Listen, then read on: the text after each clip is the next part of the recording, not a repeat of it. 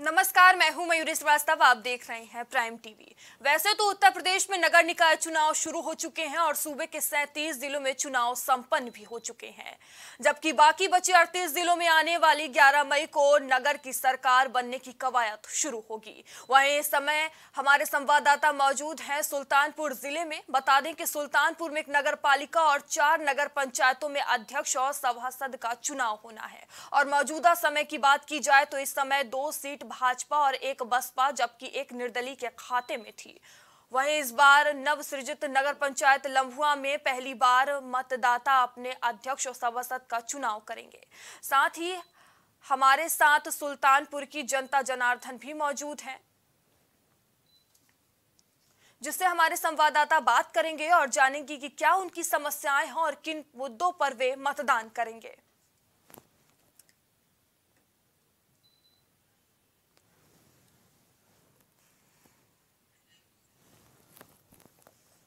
हमारे संवाददाता सुल्तानपुर में मौजूद हैं। आशुतोष, आप सुल्तानपुर में मौजूद हैं। आपके साथ वहाँ की जनता जनार्दन भी मौजूद हैं। उनसे बातचीत करें।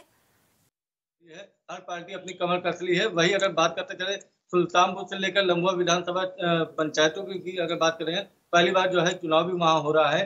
और वही आज हम सुल्तानपुर की नगर पालिका सीट पर लेकर बात करते हैं। तमाम तरीके जो है, यहाँ पे हमारे साथ कैंडिडेट मौजूद भी है। और कुछ यहाँ की जनता भी मौजूद है उनसे भी बात करेंगे किस मुद्दों को लेकर अपना यहाँ पे वोट देंगे और क्या है उनकी विचारधारा पूरी। सबसे पहले आप ये बताइएगा यहाँ की जनता के क्या राय है और आपकी कौन सी वादे हैं जो चल रहे हैं हाँ हमारे प्रत्याशी का एक ही वादा है विकास सुशासन सड़क बिजली प्रकाश व्यवस्था स्वास्थ्य रोज़गार इसको लेकर जो है चुनाव लड़ रहे हैं हमारे प्रत्याशी और भी हमारे साथ मौजूद है सपा के भी हैं हम इनसे भी बात करेंगे किस तरह के मुद्दों को लेकर आप बीच में उतर रहे हैं? भाई जैसे कि भी भाई साहब ने कहा कि इनका मुद्दा विकास है विकास और ये सब चीज़ें तो अपनी जगह है। पहले तो आप ये बताइए कि पंद्रह साल से आपने क्या विकास किया? प्रश्न तो आपसे बनता है कि पंद्रह साल से भारतीय जनता पार्टी के चेयरमैन है उसके पहले पाँच साल मालूम थे उसके पहले बीस साल भारतीय जनता पार्टी के चेयरमैन रहे जिसमें कि दो बार इन्हीं प्रत्याशी के पिताजी रहे और दो बार ये तीसरी बार ये चुनाव लड़े पहला तो प्रश्न उनसे बनता है कि उन्होंने अब तक क्या विकास किया? हमारा मुद्दा है शहर में जाम की व्यवस्था खत्म की जाए जिससे कि आम नागरिकों को जाम के नाम पे ठेले कुंचे वालों को परेशान न किया जाए, उनकी व्यवस्था बनाई जाए और बिजली की व्यवस्था अच्छी हो, नालियाँ ढकी हो, डेंगू से, डेंगू के प्रकोप पास जो दवा छिड़काव होता है, वो और सबसे महत्वपूर्ण बात है, हम लोग चाहते हैं हर मोहल्ले में एक मोहल्ला क्लिनिक खुले, जिससे निःशुल्क दवा हो सके और हम बीमारियों से अपने नगर को स्वस्थ रह सकें। इनका मुद्दा ये रहा है जाम को लेकर। और भी हमारे बीच में मौजूद हैं, बसपा के हैं उनसे भी बात करेंगे। इनका क्या मुद्दा रहेगा खास? हम लोग का मेन मुद्दा ये है कि जो है सड़क पे जो जाम होता है अतिक्रमण को हटाया मतलब एक तो उनकी व्यवस्थित स्थान दिया जाए जहाँ उनका रोज़गार कर सके और शहर के जाम मिला पाते और आवारा पशुओं को जो है क्या क्या बनाया जाएगा, उससे आवारा पशुओं जनता को दिक्कत न हो। जो है बाकी हुआ है यहाँ पे लोग अपनी समस्या की आवाज़ उठा रहे हैं। सबके मुद्दे अलग अलग हैं, जाम को लेकर, बिजली को लेकर, नाली को लेकर। आप किस मुद्दे को लेकर आप अपना मतदान करेंगे? क्या है? विकास तो आप समझते हैं कम हो गए अपने ढंग से सभी करने का चेष्टा, प्रयास करते हैं। लेकिन मेरा अनुरोध दोनों पार्टियों से है विशेष रूप से भाजपा की हवा पानी बहुत अच्छी दिख रही है कि आप लोग कृपया सफ़ाई में बंद नाली और साथ ही साथ पार्किंग। और पार्किंग ना होने वजह बेतरतीब जो गाड़ियाँ खड़ी हो जाती हैं और इंक्लोजमेंट तो ऊपर से है इसलिए हरदम जो जाम रहता है, इससे बहुत ज़्यादा असुविधा होती है। हम चाहेंगे कि अगर आप अब आवे तो इसको अपने कार्य योजना में ज़रूर आपकी राय क्या होगी? किस मुद्दों को लेकर आप वोट देंगे? क्या राय है? देखिए, हमारा प्रत्याशी आम आदमी पार्टी संदीप इस समय सुल्तानपुर में एक नई सोच और नई विचारधारा के साथ दिल्ली को मॉडल देखते हुए यहाँ आम आदमी पार्टी, एक अच्छा माहौल, विकल्प आम आदमी पार्टी को लोग देख रहे हैं। जैसे दिल्ली में आम आदमी पार्टी ने मोहल्ला क्लिनिक दिया, बिजली चोरी करने का काम किया, वहाँ जो चिकित्सा व्यवस्था थी नगर पालिका में, वहाँ व्यवस्था ठीक करने का काम किया। उसी प्रकार उत्तर प्रदेश में भी आम आदमी पार्टी और इस इकाई सुल्तानपुर में भी माननीय राज्यसभा सांसद जी ने भी इस बात को कहा संजय सिंह जी ने ये तो सपा के भी कह रहे हैं हम जो है क्लिनिक बनाएँगे सफ़ाई करेंगे जाम हटेंगे। मुद्दा आप भी उठा रहे हैं। नहीं ये तो हम ऑलरेडी कर चुके हैं। हमने इस, इस मॉडल को दिल्ली में लागू किया है पंजाब में हमने लागू किया है। हम कह नहीं रहे हैं हमने करके दिखाया है। दो राज्यों में हमारी सरकार है दस सालों में हमने राष्ट्रीय पार्टी का दर्जा पाया है। ये बहुत बड़ी बात है। आपको विकास नहीं दिख रहा है। बिल्कुल नहीं दिख रहा। अभी माता मेनका जी सांसद जी गई थी। कैसे गिर गई? वो विकास था। हल्की सी बारिश होने के बावजूद सांसद जी तुरंत गिर गई। ये विकास है। आप न- वहाँ वा- वार्ड नंबर पंद्रह में आप बता रोड के नाम पे बता रहे हो कि हम रोड बनवा रहे हैं। रोड नहीं बन रहा। क्यों झूठ बोल रहे हो भाई? झूठ बोलने से काम नहीं चलेगा। यहाँ भारतीय जनता पार्टी पूरी तरीका से फेल है। इस बार लोग विकल्प देख रहे हो और विकल्प कोई दूसरा नहीं आम आदमी पार्टी है। एक देखिएगा इस बात को मैं कह रहा हूँ देखिएगा यहाँ बहुत अच्छा विकल्प आम आदमी पार्टी पूरी बहुमत के साथ यहाँ पर आएगी। देखिए आपकी सरकार में। हरियाली बनाई जा रही है। उसको लेकर क्या पहले हम इन लोगों को जवाब दे रहे हैं। आम आम पार्टी आम पार्टी के दो मंत्री जेल में है। ये भ्रष्टाचार पार्टी है। इनका स्वास्थ्य मॉडल वहाँ फेल है। ये विकास इनका नहीं हुआ है। आप और हम आगे बता रहे हैं यहाँ शहर के लिए। ये जाम की समस्या यहाँ पे बहुत विकट है। सांसद मेनका संजय गांधी आई जब यहाँ लड़ने सबसे पहले उन्होंने सड़क के डिवाइडर बनवा के चोरी मैं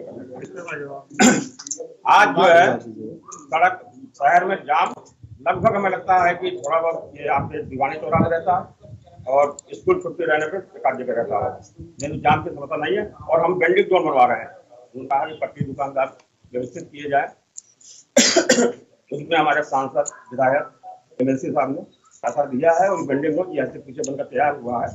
वहाँ चार पाँच सौ लोग दुकानदारों को रखा जाएगा।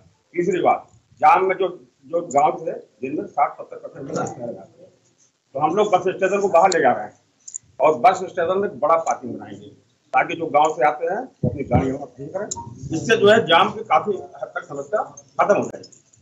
आपकी इस पर क्या राय होगी? जैसे भाई साहब ने कहा कि डिवाइडर डिवाइडर तो भ्रष्टाचार छिपाने का था।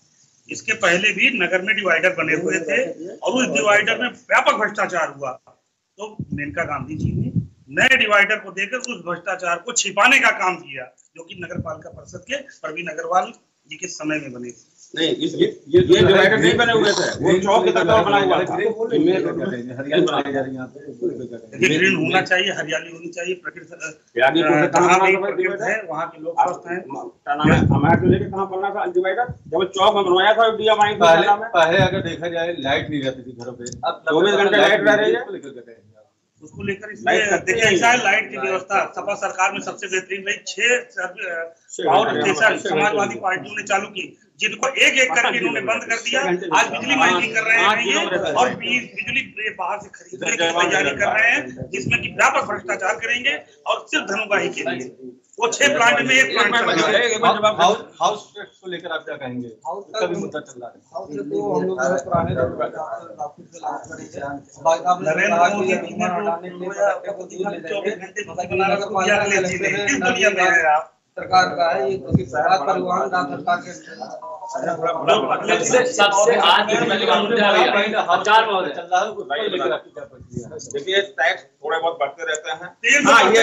ये ये नगर पालिका की दुकानों को टैक्स बढ़े हुए हैं। तीन सौ ने गया कहा है। आने के बाद हम उस पर जो है पुनर्विचार करेंगे। कब आएँगे?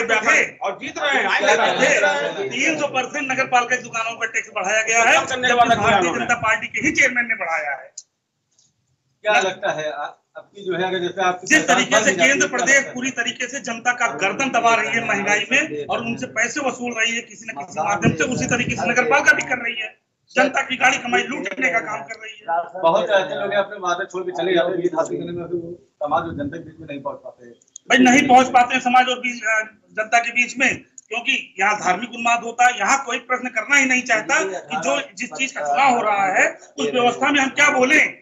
उस व्यवस्था में प्रश्न क्या करें? हमको उस व्यवस्था सुविधा क्या मिली? आपको जानकारी होगी कि पाँचों टंकियाँ बनी भाजपा की सरकार में तमाम चीज़ें जो है यहाँ पे ट्रामा सेंटर भी बनना है। अब उसका मेडिकल कॉलेज बन रहा है ट्रामा सेंटर की बात। भाई ठीक है विकास करना चाहिए लेकिन ज़्यादातर काम इन लोगों ने दूसरे के काम का सूता काटने का किया। जैसे सरकारी हॉस्पिटल में नौ तल्ले की बड़ी बिल्डिंग उस पर अपना बोर्ड लगा के कब्जा करने का काम इस पर आपकी क्या राय है? देखिए विकास विकास विकास विकास मैं सुनते चला आ रहा हूँ दसियों सालों से। उनका विकास नहीं दिखाई देता। विकास इनका सिर्फ़ दिखाई देता है टीवी चैनलों पर अखबारों में दिखाई देता है और सही सही अगर आप चले जाएँगे अंदरूनी अगर मैं कह रहा हूँ विकास हुआ होता हल्का से बारिश हुई सांसद जी गिर गई तो तो मैं। मैं कह रहा हूँ उन्होंने कहा कि भाई साहब ने कहा कि मनीष सिसोदिया जेल में बंद है। मैं कह रहा हूँ आप- आपने आप मैं कह रहा हूँ। आपने सीबीआई का ईडी का दुरुपयोग करके विपक्ष का आपकी आवाज़ दबाने का। काम कर रहे हो? आप याद रखना के प्रकृति का नियम जो है परिवर्तन। जिस दिन परिवर्तन होगा। आप भी उसका घरे में आएँगे। आपने बहुत सारे भ्रष्टाचार किए आप ईडी का तमाम दुरुपयोग करके सत्ता का दुरुपयोग करके आप इस चीज़ का जवाब भी ले दे रहे हो। भैया। में रहते हैं कोई विकास नहीं दिखा है? मुझे तो विकास नहीं दिख रहा। है। भ्रष्टाचार ही दिखाई दे रहा है। को लगेगा तो फिर क्या है? मुद्दा क्या है? दिखाई दे रहा है विकास भाई? आप बिजली नहीं है कोई, मुद्दा पूछिए। आप आप बिजली फ्री दीजिए ना दिल्ली के तर्ज पे। दिल्ली के तर्ज पे आप क्यों दीजिए रहे चाहे वो कम कमा रहे हैं चाहे ज़्यादा कमा रहे लेकिन अपना घर चला रहे हैं। कहाँ खतरा चला गए जो गरीब मैं बता रहा हूँ गरीब तबका चले जाए खाने के लिए मोहताज हो गया है भाई साहब। रोज़गार नहीं है युवाओं से पूछिए। पढ़े लिखे लोग टहल रहे हैं।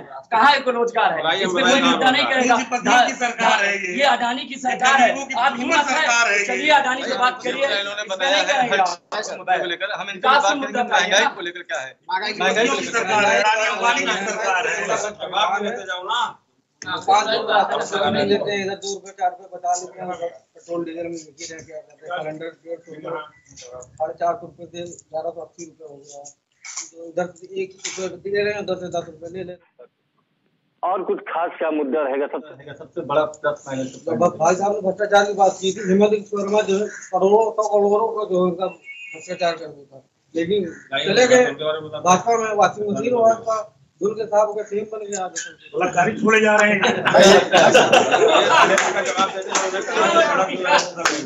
इनको अभी शायद मालूम नहीं है शहर के लोगों की वो सड़क नगर पालिका की नहीं है। वो रेलवे लाइन की है। रेलवे की संपत्ति है तो क्यों उसका बीच में आप में हैं आप आप किसी और में क्यों जा रहे हैं भाई उसके जब हमारे मेरे मेरे क्यों जा रहे हैं?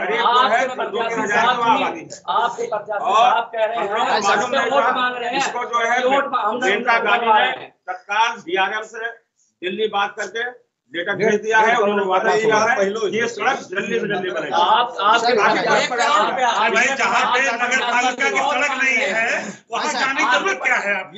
आपने हमारे आदरणीय सांसद गिरा दिया बारिश तो होती कीचड़ है कीचड़ में कूद के जाते हैं। कहीं ना पहले बात नहीं जाते ना क्यों ले गए हमारे आदरणीय भाई, हमारे सांसद जी को सांसद आप- रात के अंधेरे में क्यों ले गए? है। वो इन्हीं की सांसद है हम सब की सांसद है। क्यों लेके गए? जहाँ रास्ता नहीं है। लगना से करता क्यों? क्योंकि आप झूठा प्रचार करने के लिए। इसका भी आप जवाब दे ही दीजिए क्या कहना चाहिए? झूठा प्रचार करने गए भारतीय जनता पार्टी ईमानदारी से काम करती है क्राइम करप्शन के ज़ीरो टॉलरेंस का काम करती है। जो जिन्होंने बताया बिजली अभी बता रहे थे आप कि मेरे बहुत अच्छी थी पाँच जिलों में अच्छी थी केवल। और उसमें भी हमारे गाँव में एक दिन नरेंद्र मोदी जी के क्षेत्र से लेकर जाता है एक यादव के पास आज चौबीस हम घंटे बिजली देने आज हम है। पचहत्तर जिलों में चौबीस घंटे बिजली दे रहे हैं ब्लॉक में मुख्यालय घंटे गाँव में आ रहा है। अठारह घंटे बिजली दे रहे हैं ये लोग पहचान के बिजली देते थे पहचान का जिला था चौबीस घंटे बिजली दिया वहाँ आदरणीय सांसद कौन था नरेंद्र मोदी जी? अपराध ये किसको पकड़ना है पता है मैं बात कर रहा हूँ अगर कहना चाहूँगा ना इनका जात के हैं राजा भैया कमान ठाकुर आप चलिए। पकड़िए चलिए हिम्मत अपराधी का अगर पकड़ रहे हो तो चलिए राजा भैया हैं आपके जवनपुर के धनंजय सिंह हैं आपके तमाम अधिकारी हैं चलिए उन पे मुकदमा करिए उनको जेल भेजिए उनको नहीं भेजोगे आप सिर्फ़ हिंदू मुसलमान कराकर अपने वोट की फ़ायदा के राजनीति के लिए किसी का गला घोषणा पड़े। आप बिल्कुल वोट दोगे आप विकास चाहिए बात करिए बोल नहीं पाएँगे कोई। विकास कोई नहीं बोल एक सौ चौवन इनकाउंटर हुए हैं। किसका हुआ? है? गरीबों आदमी का हुआ है। चौवन है। और एक सौ चौबीस इनकाउंटर हिंदू के हुए हैं। जो ये बताते हैं जो तुष्टिकरण हम। क्राइम का या तो जो है माफिया की जाँच नहीं होती है। जो पैसा है उसके खिलाफ कार्रवाई हो रही है। जिस जो भी सर उठाने की कोशिश कर रहा है उसको जो है अंदर किया जा रहा है मैं भारतीय जनता पार्टी के लोगों से कहना चाहता हूँ अगर मुद्दाबाद तो राष्ट्रीय मुद्दा मुद्दे पे आ रहे हो अगर मुद्दा ही नहीं उठा रहे हो। लेकिन सर हम बोले। क्या बात सही है? अमित शाह कहते हैं रात में बारह बजे केवल पहन के लड़के जा सकती है। भेजे अपने घर के लोगों को। मैं भी देख दूँ अपराध खत्म हुआ कि नहीं पहले लड़कियाँ घर से सुरक्षित नहीं निकलती हैं। नहीं जानते हो। तो पूछ लो अब क्या है? अभाव नहीं अब तो स्कूल के नाम कटवा लेती है। बलात्कार हो रहा है अपारण हो रहा है इनके राज्य में इनके मंत्री इनके विधायक किसी के ऊपर तो छोड़ अयोध्या के बलात्कार के मामले में चिन्मयानंद को छोड़ा जा रहा है। छोड़ रही नहीं छोड़ रहा है। बिल्किस बानो के बलात्कारियों को सम्मान छोड़ा गया। एफआईआर दर्ज गया। मैं मैं नहीं समझ पा रहा हूँ। कि यहाँ हम लोग नगर पालिका चुनाव में बात कर रहे हैं वही मैं भी नहीं समझ पा रहा हूँ। अभी थोड़ी देर बाद राम होने लगेगा। आप ये कह रहे हम बिजली फ्री कर देंगे कि नगर पालिका कहीं भी पूरे इंडिया में अगर बिजली बिल फ्री की और बताओ दिल्ली में दिल्ली में सरकार कहती है यार स्टेट गवर्नमेंट है। है अब तेरह तारीख को वोटिंग गिनती होगी उसी के मामले में ही है है, तो हमारे संवाददाता आशुतोष श्रीवास्तव सुल्तानपुर की जनता के बीच मौजूद रहे जिसमें जनता का साफ़ तौर पर कहना है कि हम विकास को देखते हुए वोट करेंगे, ना हम किसी पार्टी को देखेंगे जो हमारे लिए, हमारे क्षेत्र के लिए काम करेगा। हम उसको ही अपना समर्थन देंगे। आशुतोष, आपका बहुत बहुत धन्यवाद हमसे जुड़ने के लिए। फ़िलहाल अभी के लिए नगर संग्राम में इतना ही। देश दुनिया की तमाम खबरों के लिए बने रहिए प्राइम टीवी के साथ। नमस्कार।